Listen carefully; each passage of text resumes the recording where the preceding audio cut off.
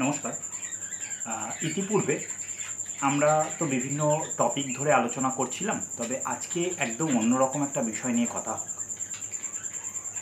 কিছুদিন আগে আমাদের একটি ভিডিওতে একজন আপনারা, আপনাদের মধ্যে একজন কমেন্টস করেছিলেন, একটা খুব সুন্দর জিনিস আলোচনার প্রসঙ্গ উত্থাপন করেছিলেন। তার বিষয়বস্তু হচ্ছে এরকম যে একাডেমিক স্কিল আমরা একাডেমিক স্কিল ডেভেলপমেন্ট করতে করতে কীভাবে ক্রিয়েটিভ স্কিল ডেভেলপ করতে পারি? বা একাডেমিক স্কিল এবং ক্রিয়েটিভ স্কিলের মধ্যে পার্থক্য কী? কীভাবে সেটা তৈরি হয়? এই প্রসঙ্গে তিনি একটা জিজ্ঞাসা করেছিলেন। আজকে তার একটু সদুত্তর দেওয়ার চেষ্টা হোক। খুব সুন্দর লেগেছিল আমার মানে কমেন্টসটি আমার খুব সুন্দর লেগেছিল। প্রথম কথা হচ্ছে একাডেমিক স্কিল এবং ক্রিয়েটিভ স্কিল কী? একদম মোটা দাগে যদি আমরা বোঝার চেষ্টা করি। একাডেমিক স্কিল সেটা হলো, এই যে আমরা বিভিন্ন আর্ট স্কুলে বা আর্ট কলেজে বা আমাদের ড্রয়িংয়ের টিচারদের কাছে আমরা প্রথমে যেটা শিখি, কি শিখি? আমরা স্টিল লাইফ করতে শিখি। আমরা কম্পোজিশন করতে শিখি, বাজার, খেলা, মেলা পার্ক খেয়াঘাট ইত্যাদি। আমরা পোর্ট্রেট আঁকতে শিখি। এবার এই শেখাগুলো যখন আমরা শিখি, তখন আমরা মূলত শিখি মিডিয়ামটা মিডিয়ামটাকে আয়ত্ত করতে, সেটা পেন্সিল হোক প্যাস্টেল হোক বা ওয়াটার কালার হোক। আর তার পাশাপাশি ড্রয়িংটা। কীভাবে আলো রাখতে হয়? আলো কীভাবে অবজেক্টে ফেলতে হয়? আলো ছায়া কীভাবে ধরতে হয়? ছবিতে আলো ছায়ার সম্প্রপাতে যে ছবির ভ্যালু তৈরি হয়, সেই ভ্যালুটা কীভাবে রাখতে হয়? এবং কোন মিডিয়ামকে কীভাবে ব্যবহার করতে হয়? তার করণ কৌশল আমরা আয়ত্ত করি। এর পাশাপাশি কম্পোজিশন কীভাবে সাজাতে হয়? খুব ইম্পর্টেন্ট বিষয়। এবার এই যে কম্পোজিশন সাজানো হলো বা স্টিল লাইফ সাজানোর মধ্যে দিয়ে কীভাবে আলো ছায়াকে ধরতে হয়, কীভাবে অবজেক্টকে রাখতে হয়, তার পাশাপাশি স্টেশনে স্কেচ করা ফিগার স্টাডি করা মডেল স্টাডি করা, এগুলো আমরা করি এগুলো আমাদের মূলত একাডেমিক স্কিলটাকে আমাদের কাজের বিষয়বস্তু, কাজের মিডিয়াম কাজের ধরন, এই বিষয়গুলোকে আয়ত্ত করতে শেখায় এবং এইখানে যে যত বেশি সম্ভব পারফেকশন আনার চেষ্টা করি।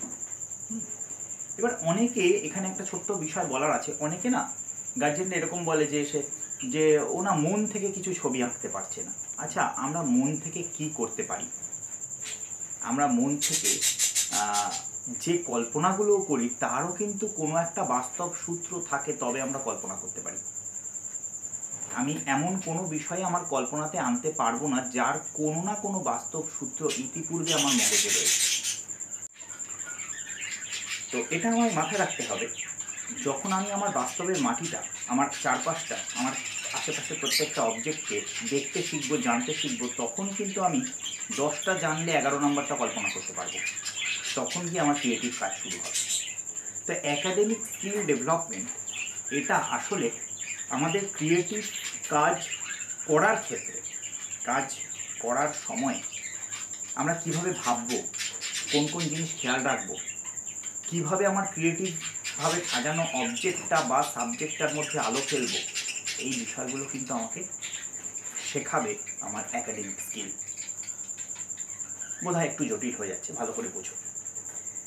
আমি স্টেশনে একটা বাল্বের তলায় শুয়ে আছে, একটা কুলিকে আঁকলাম। কুলি ঘুমোচ্ছে। আমি স্টাডি করলাম। আমাকে সেটা পরের দিন হয়তো স্যারকে দেখাতে হবে। পাঁচ বছর পর আমি মহাভারত নিয়ে একটা ছবি আঁকছি, যেখানে সরসজ্জায় ভীষ্ম শুয়ে আছে। এবার আমি এই কুলি স্টাডি যদি না করে থাকি ভীষ্ম কীভাবে শুয়ে থাকবে? আলো কোথায় পড়বে? একটা শোয়া মানুষের আসলে চেহারাটা কেমন হয়, আমার তো জানা নেই। কিন্তু যদি ওই কুলিটা আমি যখন ড্রয়িং করেছিলাম, সেটা আমার মাথার মধ্যে রয়েছিল, যখন আমি বিশ্বকে আমার ক্রিয়েটিভ কাজে শোয়াবো তখন কিন্তু ওই কুলি সেখানে বিশ্ব হয়ে উঠে আসবে। আশা করি বুঝতে পারি। আমার খুব মনে পড়ে স্যার সমীর আইচ। সমীর আইচের মহাভারত সিরিজের একটা ছবি, যেটা দেখে আমি এবং সৌমিত্র চট্টোপাধ্যায় সময় ছিলেন, একই সঙ্গে আমরা এক্সিবিশন দেখছিলাম এবং স্যার দেবাশিস মল্লিক চৌধুরী। আমরা তিনজন না স্তম্ভিত হয়ে গেছিলাম। কৃষ্ণ এইভাবে একটা চাকা ছুঁড়ে মারছে। কৃষ্ণ কিন্তু ক্রিয়েটিভ তার পুরো কাজটি ক্রিয়েটিভ কিন্তু তার ওই যে ছুঁড়ে মারার ধরনটা শিল্পী সমীর আইচের ড্রয়িংয়ের দক্ষতা, তার দেখা, তার ফোর্স তার মোশানটাকে ক্রিয়েটিভ স্কিল দিয়ে মোশানটাকে বোঝার দখল কতটা থাকলে পরে? ওই ছবিটা আঁকা সম্ভব। এটা ওই দিন দাঁড়িয়ে দেখেছিলাম, স্তম্ভিত হয়ে দেখেছিলাম। সেখানে চন্দ্র ভট্টাচার্যর কিছু ছবি দেখেছিলাম, এই একটাই একই এক্সিবিশন তাহলে এই যে দেখো, আমরা ক্রিয়েটিভ স্কিল ক্রিয়েটিভ স্কিল বলে কিছু হয় না ক্রিয়েটিভ কাজ। ক্রিয়েটিভ কাজে আমার স্কিলটা ধরা পড়বে, যেটা আমার একাডেমিক স্কিলে আমি করে এসেছি। সেই করাটা কিন্তু শুধুমাত্র রং তুলি বা পেন্সিলের করা নয়, তার পড়াশুনোটাও কিন্তু আমার ক্রিয়েটিভ স্কিলকে হেল্প করে। তাহলে আশা করি আমি বোঝাতে পারলাম অ্যাকাডেমিক স্কিল হচ্ছে আমার স্কিল লাইফ ফোলিয়েজ কম্পোজিশন যেখানে আমি কীভাবে অবজেক্টকে বা সাবজেক্টকে কম্পোজ করব, কীভাবে আলো ফেলব, জল রঙে করলে সেই জল রঙটা কীভাবে ছাড়লে পরে একটু অন্যরকম ড্রামাটিক দেখতে হয় লাইট এফেক্ট কী? কীভাবে লাইট এফেক্ট রাখতে হয়? কীভাবে ছবি সাজাতে হয়?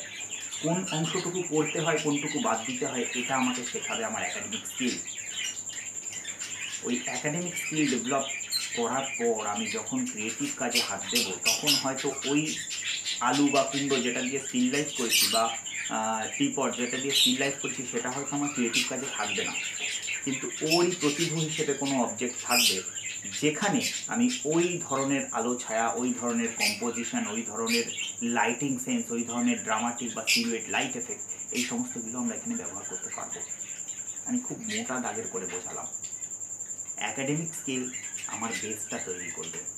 ক্রিয়েটিভ স্কিল আমাকে লোকের কাছে তুলে নিয়ে যাবে এমন কিছু কাজ আমি করতে পারব ক্রিয়েটিভ স্কিলে বা ক্রিয়েটিভ কাজের মাধ্যমে। কিন্তু সেটা তখনই খুব ভালোভাবে হওয়া সম্ভব যখন আমার এই জায়গাটা স্ট্রং থাকবে। এবার এখানে একটা বিতর্ক তৈরি করলাম আমি। তাহলে অনেকে বলতেই পারে যে, তাহলে যারা ছবি আঁকা শেখেনি, তারা কি ছবি আঁকছে না? হ্যাঁ অবশ্যই আঁকছে। খুব ভালো করে দেখো, ছবির দুটো দিক রয়েছে। একটা রয়েছে তার তাত্ত্বিক দিক আর একটা রয়েছে মানে তাত্ত্বিক দিকটা অবশ্যই নান্দনিক দিকের মধ্যে পড়ে। নাম্বার টু তার করণ কৌশলগত বা মিডিয়ামের দক্ষতা। যে ব্যক্তি হয়তো কখনো মিডিয়াম নিয়ে নাড়াচাড়া করেননি। তিনি শুধু তাত্ত্বিক বিষয়টি বা তার মনের আবেগটি, তার মনের বা মস্তিষ্কের, তার মননের শিক্ষার যে গুণাবলী বা যে ধরন, সেটা সে চিত্রে প্রকাশ করছেন। তার চিত্রের একটা আলাদা ধরন হবে। সে অল্প বিস্তর আঁকতে জানেন, কিন্তু সে নিজেকে তৈরি করেছে। তার ক্রিয়েটিভ স্কিল তৈরি হয়েছে, কিন্তু তার একাডেমিক স্কিলে এবং সেটা হয়তো বা রং তুলিতে নয় হয়তো বা পড়াশুনোয় হয়তো বা তার দেখায় হয়তো বা তার ভাবনায়। আসলে কিন্তু সেখানে সে নিজেকে তৈরি করেছে। আজকে দেখো, আমরা যে ছবিগুলো আঁকি, সেই ছবির তো একটা বিষয়বস্তু থাকে, একটা বিষয়বস্তু খোঁজার চেষ্টা করি সবাই, এটা একটা প্রবণতা।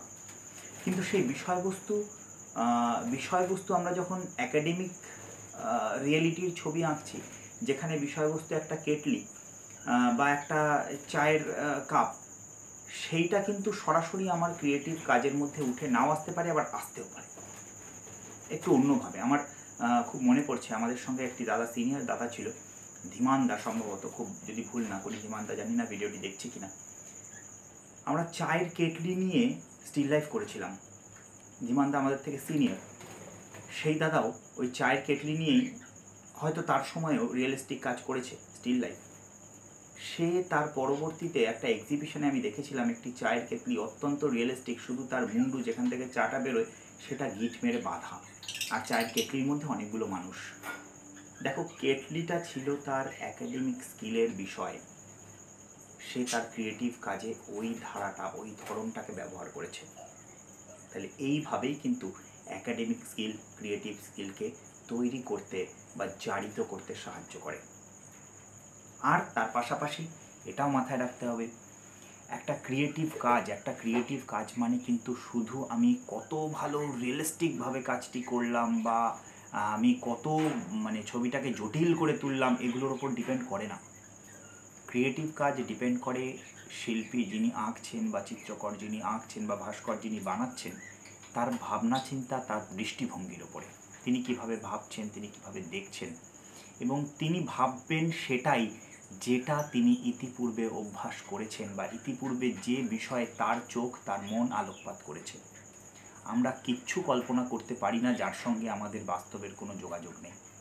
আমরা সেই জিনিসে যে দেখো সায়েন্স ফিকশন আমরা সবাই বলি সায়েন্স ফিকশন একটা কল্পনার জিনিস, কিন্তু সেই সায়েন্স ফিকশনের কল্পনার জগতে যারা যাচ্ছে যা যাচ্ছে, যা ওখানে দেখছে, তার সব কিছুর সঙ্গে কিন্তু আমাদের ইতি পূর্বে ঘটে যাওয়া ঘটনা বা আমাদের বাস্তবের কোথাও না কোথাও একটা সংযোগ রয়েছে। সুতরাং এই যে যারা বলে মন থেকে ছবি আঁকা, মন থেকে ছবি আঁকা মানেও সেখানে আমার মনে অবস্থিত কোনো ভাবনা, কোনো ঘটনা, কোনো দৃশ্য, কোনো বিষয় বা কোনো বস্তু, সেটাই কিন্তু ছবি হিসেবে উঠে আসবে। সেখানে কিন্তু আমার একাডেমিক স্কিল একটা বড় সাপোর্ট হয়ে দাঁড়াবে। দেখো, একটু উদাহরণ দিয়ে বোঝানোর চেষ্টা হোক। এইটা, এটি আমার মহাভারত সিরিজের একটি ছবি। তো এই ছবিতে আমি দেখানোর চেষ্টা করেছি কৃষ্ণ এবং খাণ্ডব দহনে যে তক্ষক ছিল, সেই তক্ষককে। আমি ছবির গল্পে যাচ্ছি না। এই ছবিটায়, এই এই ধরনের ছবি যখন আমি করছি, তখন এখানে আমার একাডেমিক স্টাডির কোন কোন বিষয় কাজে লাগছে। প্রথম কথা, দেখো, মুখটা যে ব্যবহার হয়েছে বা মুখটা যে করেছি, এখানে কিন্তু আমরা একেবারে মিউজিয়ামে যে অ্যান্টিকগুলো স্টাডি করি, সেই অ্যান্টিক বা মিউজিয়ামের মতো মূর্তি যেখান থেকে আমরা রেপ্লিকা সংগ্রহ করি, সেই যে অ্যান্টিক স্টাডি, তার স্টাডির ধরনটা কিন্তু এর মধ্যে আছে। সুতরাং আমার যদি অ্যান্টিক স্টাডি ভালো না থাকে, তাহলে কিন্তু আমি এই কাজটি যখন ক্রিয়েটিভ কাজ হিসেবে করছি, তখন তো আমার সামনে কোনো মডেল নেই। আর আমি মানে এই জায়গাটা কেন জোর দিচ্ছি? অ্যান্টিক স্টাডি ছাড়া, এখানে আমি একটা এমনি সাধারণ মুখ বসিয়ে দিলে এই ছবির গুরুত্বটা কোথাও একটা হারাতো। ফলে আমি কিন্তু এখানে অ্যান্টিকের এমন একটি মুখকে এখানে ব্যবহার করছি যেটা আমার ছবির সঙ্গে যায়। তাহলে তার জন্য কিন্তু আমাকে অ্যান্টিকের মুখটা স্টাডি করতে হয়েছে। এক। দুই হচ্ছে, ভালো করে খেয়াল করো, এখানে একটা ওপর থেকে লাইট এফেক্ট দেওয়া হয়েছে। যখন আমরা স্টিল লাইফ করছি, ওপর থেকে চায়ের কেটলির ওপরে লাইট পড়ছে বা লেবুর ওপরে লাইট পড়ছে। ওপর থেকে লাইট পড়লে অবজেক্ট কেমন দেখতে হয়, তার শিক্ষাটা কিন্তু আমি ওই স্টিল লাইফে পেয়েছি, যেটা আমি এখানে ব্যবহার করছি। দেখো, নাকের ওপরে হাইলাইট আবার নিচ থেকে যে অনেক সময় আমরা এমন করি অ্যান্টিক স্টাডি নিচ থেকে লাইট ফেলি। এটা আমাদের খুব করানো হতো। ভলতেয়ারের মুখে আমরা করতাম। নিচ থেকে লাইট ফেলে স্টাডি করতাম। দেখো, সেই নিচ থেকে লাইট ফেললে কোথায় আলো পড়ে, শিখেছিলাম আমি অ্যান্টিক স্টাডিতে এই যে এখানে আমি সেটা ব্যবহার করতে পেরেছি। নিচে আসি, দেখো। এই যে এখানে আমি ব্যবহার করেছি একটি তক্ষক। আমাদের কিন্তু ক্রিয়েচার স্টাডি বা অ্যানিমাল স্টাডি করতে হয়, সেটা দেখতে হয়। সেই দেখাটা কিন্তু আমার এখানে কাজে লেগেছে। এই কাজটা কিন্তু রিয়েলিস্টিক ধরনের কাজ। তবে এখানে কাজটিকে আমি করেছি ক্রিয়েটিভ কাজ হিসেবে। দেখো ব্যাকগ্রাউন্ডে যে টেক্সচারগুলো প্রত্যেকটা জায়গায় কিন্তু রিয়েলিটির ছোঁয়া রয়েছে, সেটা আমি ক্রিয়েটিভ কাজে ব্যবহার করছি। ফলে আমার রিয়েলিস্টিক স্কিলটা বা একাডেমিক স্কিল যদি আমি ঠিকঠাকভাবে না রপ্ত করতে পারি, তখন কিন্তু আমি এই ধরনের ক্রিয়েটিভ কাজ করতে পারব না। এবার অনেকে আছেন একেবারে অন্য ঘরানার ছবি আঁকেন। আমি কিন্তু তাদের কথা বলছি না। যেমন ধরো, আমি একজন শিল্পীকে জানি। যিনি আসলে কিন্তু কবি বা লেখক। তিনি লেখক, তিনি ছবি আঁকেন। লেখার পাশাপাশি তিনি বইপত্র লিখছেন এবং তার পাশাপাশি তিনি ছবি আঁকছেন। তার ছবিতে কিন্তু কোনো ফিগার থাকে না। হুম? তিনি রং, রংকে বিভিন্ন আঙ্গিকে, বিভিন্ন পার্সপেক্টিভে দেখছেন। সেখানে কিন্তু তার একাডেমিক স্কিলের প্রয়োজন পড়ছে না বলে আমরা আপাত অর্থে ধরে নিচ্ছি। কিন্তু তা নয়। তার একাডেমিক স্কিলটা তার শিক্ষার জায়গায়, তার বোধের জায়গায়। তিনি সেটা কিন্তু ওইভাবে নিজেকে তৈরি করেছেন। তাহলে একাডেমিক স্কিলের দরকার আছে, এটা মাথায় রাখতে হবে। একাডেমিক স্কিলের দরকার আছে সেই একাডেমিক স্কিলই কিন্তু একটা সময় ক্রিয়েটিভ কাজ করতে সাহায্য করবে অনেক ভালোভাবে। পিকাসোর গয়নিকা আমরা দেখে বলি, আরে বাবা, উনি তো কিউবিস্ট কী ধরনের ছবি এঁকেছেন? সেটা হয় কেউ খুব ভালো বলি, যারা কেউ বুঝি না, তারা হয়তো খুব খারাপ বলি। কিন্তু পিকাসো চোদ্দ বছরে যে ছবিগুলি এঁকেছেন, সেগুলো চূড়ান্ত রিয়েলিস্টিক কাজ। তিনি ওই জায়গাটি করে এসেছেন, তাই তিনি গর্ণিকাকে বোধহয় ওইভাবে দেখতে পেরেছেন। আমরা রবি ঠাকুরের ছবি নিয়ে চর্চা করি। আমার খুব ইচ্ছে হয় রবি ঠাকুরের ছবি নিয়ে একটা একটা বা দুটো পর্ব করতে।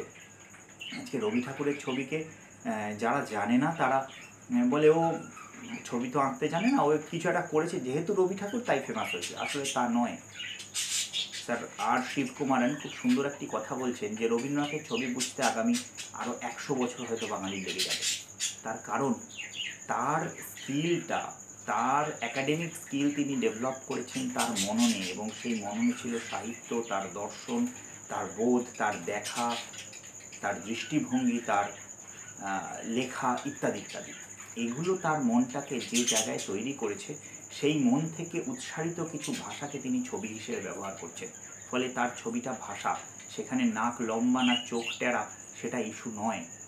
রবীন্দ্রনাথের ছবি সত্যি আমাদের বুঝতে কিন্তু বুঝতে। রবীন্দ্রনাথের ছবি বোঝার জিনিস নয়। রবীন্দ্রনাথের ছবি উপলব্ধি করার জিনিস এবং সত্যি সত্যি নিজেকে একটা পর্যায়ে না তুলতে পারলে কিন্তু রবীন্দ্রনাথের ছবি বোঝা অত সহজ নয় বা রবীন্দ্রনাথের ছবিকে বোঝা নয় উপলব্ধি করা অত সহজ নয়। আমরা পারি না রবীন্দ্রনাথের ছবিকে উপলব্ধি করতে বেশিরভাগ ক্ষেত্রেই। তার কারণ আমরা সেই পর্যায়ে নিজেদের মননকে নিয়ে যেতে পারি না। তার অ্যাকাডেমিক স্কিল কিন্তু ওই জায়গাটায় অতটা স্ট্রং ছিল। তাই আজকে কিন্তু তার ক্রিয়েটিভ স্কিলকে আমরা এই পর্যায়ে দেখছি, যে কারণে তাকে ভারতের প্রথম আধুনিক শিল্পী বলা হচ্ছে। একই কথা রামকিঙ্কর বেইজের ক্ষেত্রেও তাই। রামকিঙ্কর বেইজের যে ভাস্কর্য আর পাঁচজন বুঝতে পারছেন না বলে তাকে গালাগাল করছেন, সেই ভাস্কর্য দেখে কিন্তু রবি ঠাকুর স্তম্ভিত হয়ে যাচ্ছেন। এটা ইতিহাস এবং এটা বাস্তব। ঠিক এই জায়গাতে দাঁড়িয়ে আমি তোমাদের বলব বা আমরা প্রত্যেকের জন্য এইভাবে নিজেদেরকে লিখিত করি যে যখন আমরা কাজটা শিখছি, তখন খুব মন দিয়ে, তখন আর পাঁচটা ছবি নকল করে কীভাবে বাহবা কুড়বো, কীভাবে একটু নিজের ভাবনা চিন্তা দিয়ে দু পাঁচটা হেভি হেভি ছবি আঁকবো, না। আমি কি ভাবছি সেটা দেখে মানুষকে অবাক করে দেবো? তা নয়। এটার দিকে আমরা ছুটবো না এখন। সেটা আমাকে আমিই ধরা দেব একটা সময় পর। আমার মন চাইবে এই বিষয়টা নিয়ে কাজ করতে। এখনই সেটা হয়তো না, ছোটদের ক্ষেত্রে বলছি। তোমরা আগে শুরুতে দু চারটে একটু অন্যরকম আসে ভাবনা চিন্তা, সেগুলো অবশ্যই করো অবশ্যই করো। লেআউটের খাতায় থাকো। একাডেমিক স্কিল ডেভেলপমেন্টের জায়গায় কোনো ফাঁকি নয়। সেই জায়গাটা খুব গভীরভাবে হোক। প্রথম এক বছর, দু বছর, তিন বছর, চার বছরের বেলায় আস্তে আস্তে নিজের ভাবনা চিন্তাগুলো একটু অন্যভাবে প্রকাশ করা শুরু হোক একটু অন্যভাবে। আমি যে কেটলিটা এতদিন ধরে এঁকে এসেছি, সেই কেটলিটাকে একটু অন্য আঙ্গিকে দেখব। আমি যে মোমবাতি দানিতে মোমবাতি জ্বালিয়ে স্টিল লাইফ করেছি, এবার আমি মোমবাতির তলার অন্ধকারটাকে নিয়ে আঁকতে শুরু করব। কারণ মোমবাতিটা আমার বেশ কয়েকবার আঁকা হয়ে গেছে, মোমবাতির আলো কেমন আমি দেখেছি, এবার তার তলার অন্ধকারটাকে আমি দেখব। এবার কেটলির ছায়াটাকে নিয়ে একটু ভাববো। কেটলির ছায়ায় বসে থাকা বড় বড় ডেলো পিঁপড়োগুলোকে নিয়ে একটু ভাববো। সেটা একটা সময়ের পরে, শুরুতেই নয়। একাডেমিক স্কিল ডেভেলপ করার পর, একটা জায়গায় যাওয়ার পর, তখন আমার ভেতর থেকে আস্তে আস্তে খিদে জন্মাবে এবং তারপরে আমি আস্তে আস্তে ক্রিয়েটিভ কাজ করতে শুরু করব। তার মাঝে ইচ্ছে হলে অবশ্যই দুটো একটি করতে পারি, কিন্তু সেই করাটাকে একেবারে মানে সেটার উপরেই খুব বেশি জোর দিয়ে ফেললে বেশিরভাগ ছেলেমেয়ে কিন্তু সেই জায়গাতে সমস্যাটা করে। ফলে কি হয়? একটা সময় গিয়ে কিন্তু তারা সমস্যায় পড়ে বলে ইতিপূর্বে শুনেছি। আমি জানি না, আমি খুব বেশি জানি না। আমি যদিও এখনও ক্রিয়েটিভ কাজ আমি নিজেই করি না। মোটামুটি এখনও যদি আমরা কখনো রূপ নিয়ে আলোচনা করি, তখন জানবে যে আমরা অনেকেই কিন্তু রূপের আশ্রয় থেকে বেরিয়ে একেবারে অরূপের সন্ধান করার সাহস অর্জন করতে আমাদের অনেকটা সময় লাগে এবং সেই লাগাটা উচিত। তাই একাডেমিক স্কিল ডেভেলপ আগে করব এবং তার পাশাপাশি নিজের ভাবনা চিন্তার জগৎকে একটু একটু করে ক্রিয়েটিভ কাজের দিকে এগিয়ে নিয়ে যাব, সৃষ্টিশীল কাজের দিকে এগিয়ে নিয়ে যাব। আগেই ক্রিয়েটিভ হওয়ার ঔদ্ধত্য, আগেই ক্রিয়েটিভ হওয়ার বাসনা, সেটার মধ্যে খুব একটা ভালো ফল দেখি না। সুতরাং যারা শুরু করছে ছোটরা, তারা একটু এইভাবে ভেবে দেখতে পারো। আমি বলছি না যে আমি যা বলছি সেটাই একমাত্র ঠিক, একটু ভেবে দেখতে পারো। নমস্কার।